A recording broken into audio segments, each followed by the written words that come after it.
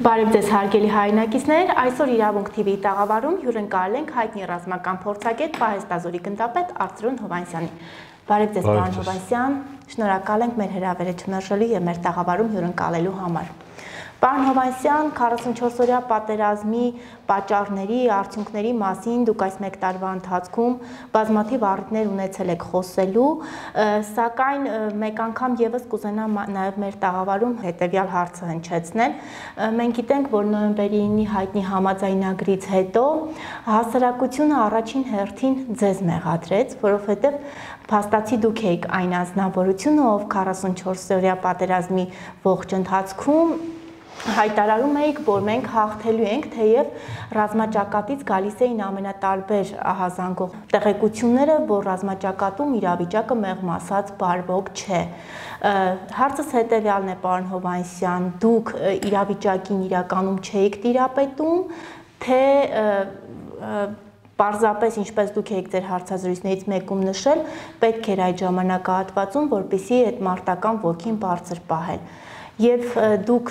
երբ առերեսվում եք այն նման անznավորությունների հետ, ովքեր մինչ օրս ձեզ են մեղավոր համարում, ինչ եք զգում։ Ես ցավում եմ, որ մենք նորից շարունակում ենք նույն տեղում դոփել եւ շարունակում ենք նույնիսկ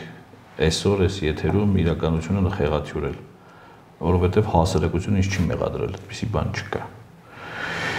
այսինքն մենք նորից ստեղծում ենք արհեստական իրականություն։ Այ ինչ որ մի մաս դա հասարակություն չի, եւ ինչ որ մի մասին հենց հասարակությունը ինքը այդ պատասխանը տալիս է նույնիսկ առանց ինձ։ Ես դրա կարիք շատ հաճախ չեմ ունենում եւ առերեսվելու խնդիր էլ չեմ ունենում, որովհետեւ մենք հազար անգամ համոզվել ենք, բայց նորից շարունակում ենք նույն բանը անել, որ Facebook-յան իրականությունը կյանքի իրականությունը ոչ մի առնչություն չունի։ Մենք դա համոզվել ենք տարատեսակ քաղաքական ռազմական եւ այլ իրադարձությունների ֆոնի վրա, բայց նորից շարունակվում է։ Սովորական, այսպես ասած, հայաստանյան իրականությունը լինի Երևանի փողոցներում, լինի հատկապես մարզերում, բոլորովին ուրիշ է, ասում եմ, բոլորովին, ասենք, ինչքան կարելի է դա համոզվել, համոզվել նորից ասել դա։ Ես ցավում եմ, որ մենք այդպես ենք մտածում եւ պիտի Նշանակում է մեր մոտ իրականում շատ խորը հիվանդություններ կան հասարակության մեջ։ Եթե մենք շարունակում ենք մտածել, որ պատերազմի ժամանակ այլ բան կարելի էր ասել, մեր մոտ ուրեմն ինչ որ մի բան իրոք չի աշխատում։ Մեր սիրտը, մեր թոքը, չգիտեմ, ինչ որ մեր ուղեղը ինչ որ ախտոր ախտավորված է, ինչ որ մի խնդիր կա ուրեմն մեր մեջ, եթե մենք մտածում ենք, որ պատերազմի ժամանակ լինում է այլ տիպի քարոշչություն։ Չի լինում, Իլոնա ջան ոչ միտեղ չի եղել, ես ասենք արդեն հոգնել եմ դա ասելուց, բայց եթե այդ հարցը հնչելու է, ես միշտ նույն պատասխանը տալու եմ։ Բերեք ինձ մեկ օրինակ 20-րդ տարի պատերազմներից, մեկ օրինակ պատերազմներից։ Եվ ես ներողություն խնդրեմ, բայց գիտեք խնդրեմը որն է։ Որ իհարկե չի բերվելու այդ օրինակը, որովհետեւ օրինակը չկա։ Իսկ կարող է մեկը, ասենք, այդ գրողներից, այդպիսի բան ասողներից առանց Վիկիպեդիա մտնելու եւ Google-ելու գոնե երկու ծերի վրա 20-րդ տարի մի 5-6 հատ պատերազմ թվարկի ըստ ժամանակագրության։ Իհարկե չի կարող։ Մենք այսպեսի հասարակություն ենք։ Մենք կարող ենք սու 30-ի մասին նյութ գրել առանց իմանալու ինչ է սու 30-ը։ Մենք կարող ենք պատերազմի մասին նյութ գրել առանց իմանալու ինչ է պատերազմը։ Պատերազմի բնորոշիչը։ Ինչ է պատերազմ, ասենք պատերազմ եզրույթի ասենք գիտական կամ հասարակագիտական, ասենք թեկուզ մոտավոր բացատրությունը տվող քանի լրագրող գիտեք, որ պատերազմից գրում է. 0 Մենք այսպիսի հասարակություն ենք դժբախտաբար։ Պարոն Հովանեսյան, հասարակությունը Հայաստանի Հանրապետության ղեկավարությանը մեղադրում է, որ հնարավոր էր պատերազմը գոնե կեսից, երբ հայտնի է թե ինչ էր կատարվում ռազմաճակատում, կանգնեցնել։ Այ հետաքրքիր է ձեր դիտարկումը որպես ռազմական փորձակետ, որպես անznավորություն, ով լավագույնս էր տիրապետում այն իրավիճակին, ինչ կատարվում էր այդ օրին ռազմաճակատում հնարավոր է հոկտեմբերի կեսերին պատերազմը կանգնեցնել։ Միլան ջան, ես հարցնել եմ անդրադարձել, ելի կարող եմ անդրադառնալ։ Ես պատերազմի ընթացքում բացարձակապես որևէ քաղաքական բանակցություններից տեղյակ չեմ եղել ու մինչև այսօր էլ չունեմ լիարժեք պատկեր, կան տարբեր հակասական տեղեկություններ, այնինչ հնչում է, այսպես եմ ասում, նորից եմ ասում, Facebook-ում կամ ինչ որ հարթակներում մեղադրանքի տեսքով, 99%-ով ոչ մի աղերս չի ունեցել ու չունի իրականության հետ, բայց ես այդ իրականությունը չեմ տիրապետում, դա զինվորական նրբանակ բան չի, նրբություն չի, դա քաղաքական, իսկ քաղաքանի մեջ ես չեմ եղել, ես էլ եմ ասում, պատերազմի ընթացքում առնվազն 3-4 անգամ աշխարհի գերտերությունները փորձել են կանգնեցնել ու Հայաստանի ռազմական ղեկավարությունը, ասենք, արգոզնախարի, ասենք, մասնակցությամբ եղել են ինչ-որ բանակցություններ, բայց ես մանրամասները երբեք չեմ իմացել, չեմ ոչ հաջորդ օրը, ոչ նախորդ օրը, որովհետև ոչ դրա ժամանակ ունեինք, ոչ է դրան հեշտ էր հասնում կոպիտ ասած։ Ես մինչև այսօր չգիտեմ իրականում ինչ առաջարկներ են հնչել, ինչ պատասխաններ են տրվել։ Ես միայն գիտեմ, որ պաշտպանության նախարարության ամենավերևին օղակներում, որտեղից ես ինֆորմացիան միայն ու միայն ստացել եմ, այնտեղից էլ եմ ասել ու նորից կրկնում եմ, այդ բանակցությունները, որ ընթանում էին, ասենք, Մոսկվայում, Վաշինգտոնում, Փարիզում, դա չեմ սխալվում, նաև Փարիզում, ամեն անգամ կար այսպես տարամադրվածություն, որ հեսա կարող է կանգնի, հեսա կարող է կանգնի պատերազմը, Չնայած եթե անկեղծ ասեմ, ես դա ես չեմ թաքցրել եւ նորից եմ ասում, ես իմ տեսակով որպես զինվորական մարդ, հատկապես հոկտեմբերի 20-ից հետո, այսպես չէի ուզում պատերազմը կանգներ, ինչքան էլ որ ես իմ ասածս դաժան է հնչում, բայց ես գտնում եմ, որ իմ ճուզելը կապված էր նա հետ, որ մենք ունեինք կորուստներ եւ այդ կորուստների հետ ես չէի ուզում հաշվի նստեի եւ ես գտնում էի, որ պատերազմի տեմպը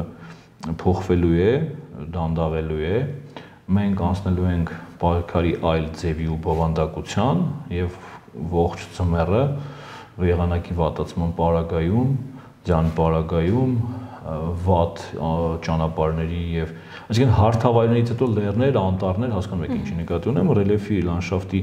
այսպես ծանր լանդշաֆտի պարագայում մենք ստանալու ենք մեր առավելությունը թշնամու նկատմամբ։ Դա զուտ իմ ներքին, այսպես ասեմ, պատկերացումներ են եղել, որոնք հիմնված են եղել որոշ, այսպես ասած, տարա պլանների վրա, գլխավոր շտաբի պլանների վրա բայց որ բոլոր բանակցությունների փուլում մեր ռազմաքաղաքական ղեկավարությունը մեր, նկատի ես ել եմ ասում բանակի հետ եմ շփվել միայն։ ունեին նախատրամադրվածություն, որ կարող է կանգնի պատերազմը, դա ես տեսել եմ, բայց ինչի չի ստացվել, ինչ է քննարկվել, ինչ է պատասխանվել, ես տեղյակ չեմ։ Պարոն Հովանեսյան, մենք ունենք տեղեկություն, որ դեռևս սեպտեմբերի 23-ին 24-ին Արցախի ազգային անվտանգության ծառայությունը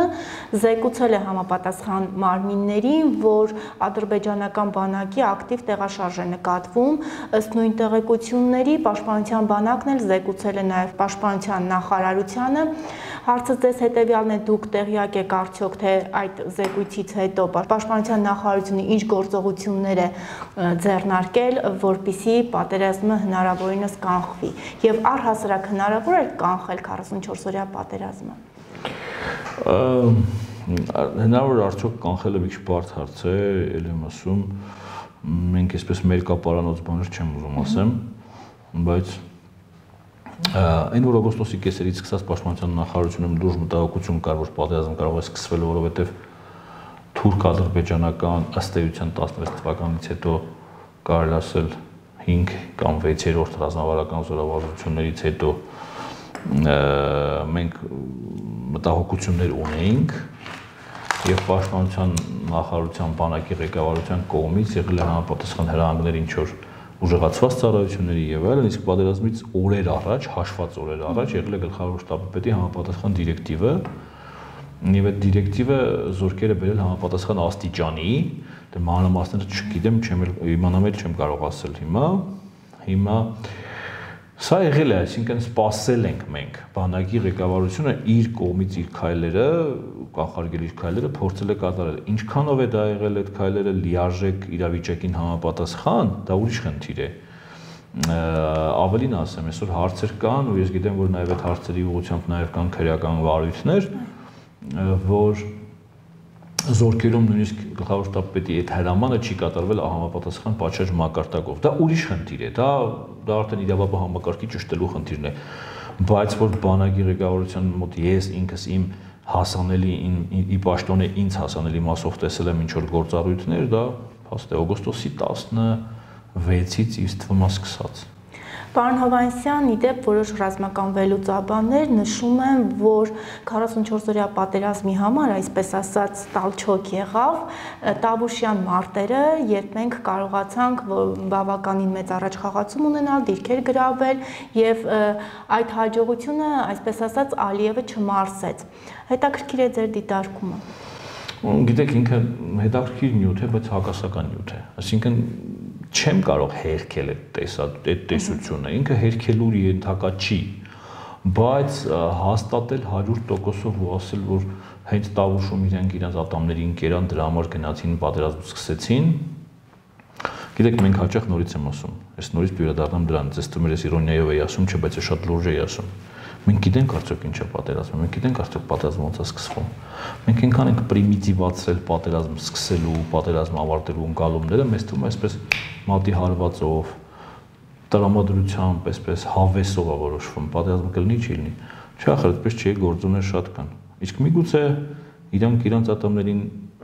այն որ հուլիսից հետո Ադրբեջանը գնաց ու Թուրքիայից ավելի շատ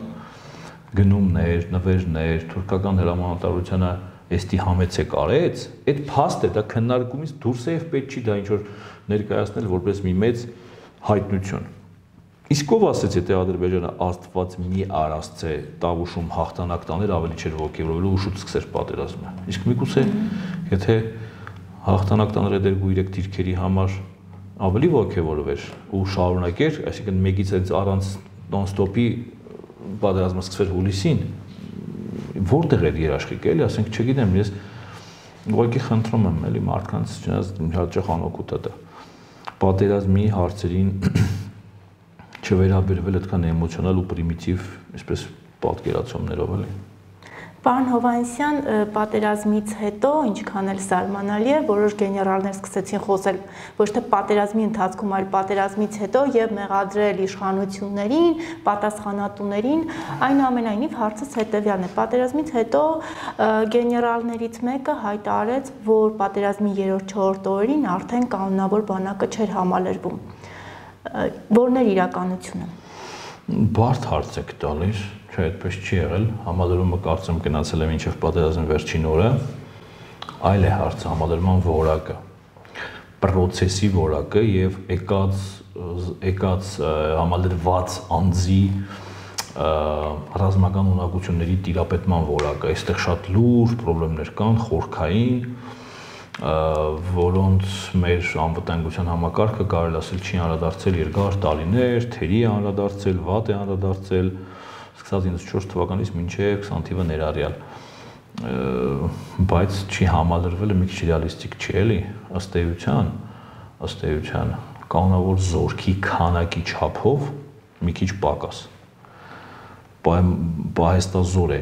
մոբիլիզացվել այսինքն գրեթե կրկնապատկվել էր մեր բանակը պահեստազորով կոպիտ ասած բայց այլ եմ ասում որակը առանձին լրիվ քննարկման առարկա Պարոն Հովանեսյան, մենք առիթ ունեցել ենք ձեզ հետ խոսելու, թե որն էր 44-օրյա պատերազմի նման ելքի պատճառը եւ դուք նշել եք, որ այդ ամենի պատասխանները կտան վերլուծությունները, տարիները, հա, բայց օրինակ ձեր նախկին գործընկեր Պաշտպանության բանակի մամուլի պատասխանատու Սենոր Հասրատյանը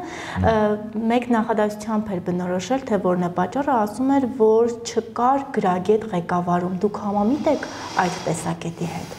ես ցավում եմ, որ մենք մանավանդ զինվորականներս փորձում ենք մեկ նախադասությամբ տալ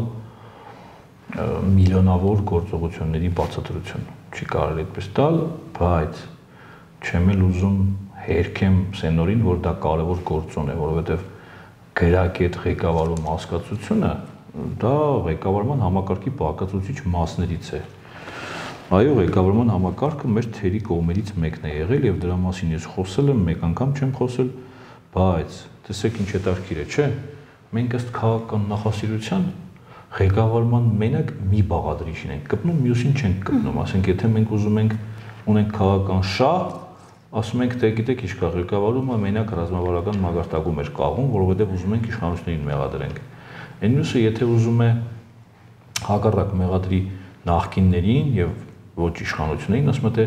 մարտավարական եւ այլ մագարտակում ղեկավարման խնդրեմ կար, որովհետեւ ռևոլյուցիաները պատրաստ չէին պատերազմին։ Ժողովուրդ չեն, ամեն ինչ ամբողջական պետք է ներկայացվես, ներկայացնես։ Ղեկավարման համակարգը ռազմավարականից մինչև մարտավարական ուղղահայաց ունի, այսպես հստակ։ Նաեւ իր հորիզոնական բացվածքը ունի։ Այո, ղեկավարման համակարգում ունեցել ենք լուրջ թերություններ, բայց դա միայն մարտավարական չի եւ միայն ռազմավարական չի, բոլորն իրար հետ վերցրած։ Այո, ռազմավարական մագարտակում էլ է եղել ղեկավարման խնդրեմ, փորձի միգուցե պակաս, նաեւ Արցախ, ՀՀ իրավահարաբերություններից բխող խնդրեմ եւ այլն եւ այլն, բայց պետք է իջնել մի ինչև ներքև, բայց այդ մի հաղորդման ընթացքում դրա մասին խոսել չի կարելի, ես ես մնում եմ այն տեսակետին, որ պատերազմը եւ պատերազմի պատճառները, պարտության պատճառները, բոլոր դետալները առանձին վերցրած այնքան այնքան էժան բան չեն, որ մենք տենց ոտի վրա ալադառնանք էլի այդ պատերազմին, ասենք երբ որ ասում եմ տարիները, ինձ ցույց տվեք մի պատերազմ, որի վերջնական գնահատականը տվել են մի տարի հետո մի նախադասությամբ։ Այդ այդ ոնց չի կարելի այդպեսի բան։ Ուրեմն այդքան անլուրջ է մեր պատերազմը, որոնց մենք չենք հարգում այդ կորուստներին այդքան։ Եթե դուք հարգում եք այդ կորուստներին, ձեր քաղաքական ամբիցիաները փաթեթավորեք պահեք միտեղ ու խելացի, տրամաբանված, հիմնավորված, ինչև վերջ ուսումնասիրված գնահատականներ տվեք։ Մարդիկ պատերազմների մասին հատորներ են գրել, բայց ինչի համար են գրել։ Պարոն Հովանիսյան դարձյալ վերլուծաբաններ նշում է, որ մեր նահանջի հիմնական պատճառներից մեկն էլ այն էր, որ մենք չենք ունեցել ժամանակակից 21-րդ դարին համահունչ դիրքեր, քարակերտ դիրքեր, այ օրինակ Արցախի հյուսիսային հատվածում ունեցել ենք նմանատիպ մի դիրք, որտեղ ունեցել ենք բավականին մեծ հաջողություններ, այ այս առումով եւս խնդրում եմ ձեր դիտարկում։ Լորա ջան, կարճ ասեմ, դա էլ տանջված թեմա է, այսպես բարձ ասեմ։ Իհարկե, մենք ամբողջ պաշտպանական այսպես սահմանա գոտու երկայնքով ճունեինք 21-րդ դարին հարիր տեխնոլոգիապես լիարժեք հագեցած ոչ թե քարակերտ, այլ բետոնապատ կամ բետոնի եւ այլ տեխնոլոգիաների համադրությամբ լիարժեք պաշտպանական բնագիծ, առավել եւս ճունեինք դրա երկրորդ, երրորդ էշելոնը։ Բայց այո, կային առանձին դիրքեր, իդեալական սարքած եւ դա մենակ հյուսիսում չէր իմիջելոց այդ 1000 1500 կարելի ասել այսպես եթե ամբողջ բանով նայենք էլի պերիմետրով սահմանա գոտու վրա կարող է եւ մի 10 կամ 20 լավ դիրք ունեցել ենք ասենք իդեալական սարքած մի մի մի քանիսը հյուսիսում մի քանիսը կենտրոնական ուղությունում հարավում հայաստանյան ուղությունում էլ կան այդպիսի լավ դիրքեր այսօր որոնք պատրաստված են վերջին 10 տարիների ընթացքում հիմնականում իդեալական դիրքեր են բայց իրանք այդ 1000 քանի կիլոմետրի վրա որակ չէին ստեղծում այդ մի քանի դիրքը Իլոնա ջան։ Ասենք այդ մի առանձին երկու դիրքը հա կարող է եւ դառնում էին ամխորտակելի, բայց գալիս կողքերի շրջափակում են, անցնում են թիկունք, դու մնում ես կղզու մեջ, հետո գայում, ասենք, մի խոսքով, մի չպատմում է իրադարձությունները։ Եղել են, բայց այո, մենք չենք ունեցել իդեալական, այսպես ասած, կահավորված պաշտպանական համակարգ։ Ո՞վ է պատասխանատու այդ ամենի համար։ Բոլորս։ Բոլոր տարին, գիտեք, դա մի դիրքի պատմություն չի, ասում եմ 1000 կիլոմետրի մասին է խոսքը։ Ոչ մի իշխանություն առանձին դա չէր կարող մենակով ավարտել։ Ոչ ոչ մի 10 տարում հնարավոր չէր։ Նույնիսկ 10 տարում նույնիսկ 10 տարում, այսինքն հնարավոր չէր սկսել այս ծայրից այն ծայրը ավարտել։ Այսինքն մենք Ստեղ պետք է խոստովանենք, որ բոլորս մեր ժամանակին 94-ից մինչև 20 թվի սեպտեմբերի 27-ը ներառյալ, այ բոլորս այդ կահավորումը այդ իդեալական վիճակի չենք բերել։ Ես ստեղ պատասխանատու ձևով ասում եմ, ոչ մի ղեկավար միայնակ չէր կարող այդ 1000 կիլոմետրը, այդ 1000 քանի 100 կիլոմետրը իդեալական սարքեր, պահեր, կահավորեր ու առավել եւս երկրորդ, երրորդ բնագիզներ հետ։ Բայց կարող ենք, չէ, փուլ առ փուլ այո։ Բա հետո դրա համար ասում եմ, եթե փուլ առ փուլ չեն կարել, ուրեմն բոլորս բոլոր ժամանակներում դրա համար ունենք մեղավորության աստիճան։ Այդ առանձին վերցրած 10-20 դիրքերը փառք ու պատիվ որ սարքել էիք, բայց 10-20 չպտիլներ, պտիլներ 2000, 3000։ Պարոն Հովանիսյան, ուզում եմ նաև անդրադառնանք Շուշիին։ Տեսեք, Շուշիի հետ կապված պատերազմից 1 տարի հետո էլ շարունակվում են հակասական կարծիքներ, այ ինչ որ մի զանգված հասարակության շարունակում է նշել, որ Շուշին ոչ թե գրավեցին, այլ հանձնեցին։ Հարցս ձեզ հետևյալն է. ինչպես հակառակորդին հաջողվեց հասնել Շուշիի մատույցներ։ Իլոնա ջան, 1000 տարի էլ անցնի Շուշիի անկումը մնալու է բազում հարցեր չպատասխանված 100 տարուց ավել է անցել Ղարսի անկումից, Կարսի ամրոցի անկումից, որին ես իդեպ հենց ակադեմիական գիտական ուսումնասիրություն եմ նվիրել, բայց ակադեմիական ուսումնասիրողներս այնքան քիչ են, որ մեկը մենք ինչ որ եղանակ չենք ստեղծում եւ հասարակության մեջ նույնիսկ մասնագիտական շրջանագրում շարունակում է այդ հարցը ուտում կախված մնալ, ինչպես ընկավ Կարսի ամրոցը։ Այսպես երկար ժամանակ մնալու այդ հարցը ինչպես ընկավ Շուշին։ Ընկավ, թե չպաշտպանեցինք, վերցրեցին, թե չպաշտպանեցինք։ Չգիտեմ, ես բազում հարցեր կա, որ Շուշի հետ կապված ես էլ չունեմ պատասխան, չնայած ընդհանուր ներկա ընդհանուր պատկերը իմ համար ընկալելի է։ Մենք չէինք սպասում այդ այդպիսի այդ տեսակի հարցակման եւ մենք պատրաստ չէինք այդպիսի պաշտպանության։ Շատ երկար կարելի խոսել։ Պարոն Հովանեսյան եւ մի ռետորական հարց, եթե տարիներ հետո ձեզ հաջողվի լինել այն դատավորի դերում, ով պետք է դատի 44-օրյա պատերազմի մեղավորներին եւ պատասխանատուներին, ում առաջինը կկանչեիք մեղադրյալի աթոռին։ Հետաքրքիր հարց եք տալիս, բայց ես նոր իմ խոսքում բազմիցս ասացի, որ ես այպես էմոցիոնալ սրտի ցանկությունով ինչ որ մեկին մեղ դատելով Սար դատելով պետք է բոլոր հանգամանքները ուսումնասիրել։ Բոլոր, դա տարիներ պիտի տևի Ուրեմն եթե ես դատավոր լինեմ, այդ քրեական գործը պիտի տևի մի երևի մի քանի տարի։ Պետք է հարցակնվեն տասնյակ հազարավոր մարդիկ, հանգամանքներ, պատճառներ ու պետք է չլինի էմոցիոնալ, իմ սիրտը այսպես է ուզում, ես սուրբ եմ բոլորը դավաճան սկզբունքը։ Որ րոպեին որ մենք դադարեցնենք այդ ես սուրբ եմ բոլորը դավաճան ճակերտավոր սկզբունքի դավանանքը մեր հասարակության մեջ այդ պայից սկսած դատավորի կարիք չի լինի, բոլորս մենք մեր մեղքը կընդունենք։ Պարոն Հովանեսյան, ուզում եմ մեր զրույցը ամփոփենք մի քանի բլից հարցերով, որպիսի հանրությունը տեսնի նաև ուղակի քաղաքացի Արծրուն Հովանեսյանի բացահայտի։ Պարոն Հովանեսյան, եթե իմանայիք, որ ձեր կյանքի վերջին օրն եք ապրում, ինչ կփոխեիք ձեր կյանքում։ Այսօր։ Այո։ Բարդ է ասել, չգիտեմ Երևի թե վերջ օրը Երևանից դուրս կգայի ու լրիվ մի այլ տեղում կանցկացնեի։ Եթե հնարավորություն լիներ նորից ծնվելու։ Նորից հայ կծնվեի։ Մեր ժամանակի ձեր հերոսը։ Եթե կենթանի ապրող հերոսի մասին է խոսքը, շատ կան։ Այսօրվա մեր պատերազմացած տարեկից շատ կան։ Ես 3 օր առաջ ծանոթացել եմ մի հրաշալի երիտասարդի հետ Վան անունով, եթե չեմ սխալվում ազգանունը Ահարոնյան Ինք ինքը իմ համար դարել է հերոս։ Եթե Վանը լսում է ինձ, թող իմանա, որ ես ինքը արդեն իմ հերոսն է։ Ու այդպիսի Վաներ ես ես վերջին տարիներին շատ եմ տեսել։ Հայրենիքը ձեզ համար։ Սրբություն է միանշանակ։ Արցախը ձեզ համար։ Նույն ձևի։ Իմ Արցախն ու հայրենիքը իմ համար չի տարբերվում իրարից։ Ինչպես չի տարբերվում Վանը։ Ձեր կյանքի ամենամեծ ձեռքբերումը։ Հմ։ Բարդ հարց։ Միև ընկերներս եւ ընտանիքս եւ լիք հարազատ մարդիկ, բայց ինձ թվում ամենակարևորը ընկերներս, հատկապես զինվորականները։ Եթե մի բառով բնորոշեք ձեզ։ Զինվոր։ Ձեր կյանքի ամենաերջանիկ օրը։ Բարդ հարց է։ Բիսի օրեր ինձ թվում է շատ են եղել, բայց անավանդ էս վերջին մի տարին ընդհանրապես երջանիկ օրերի մասին չեմ էլ մտածում։ Ում եք դիմում, երբ հուսահատ եք։ Մորս։ Միշտ վախեցել եք։ Իսկ մի բանից եմ մենակ վախեցել ես կյանքում։ Կիսատ թողնելուց։ Ուրիշ ոչ մի բանից։ Հաճախ եք արտասվում։ Հա, ես չեմ ամաչում արտասվելուց միջելուց։ Երբ եք վերջին անգամ արտասվել։ Երկու օր առաջ։ Բամբասանքը, որը տպավորվել է ձեր մեջ։ Շատ կան, չեմ հիշի առանձին Մարդ ով գիտի ձեր բոլոր գաղտնիքները։ Կան։ Մի բան, որի համար շատ եք ափսոսել։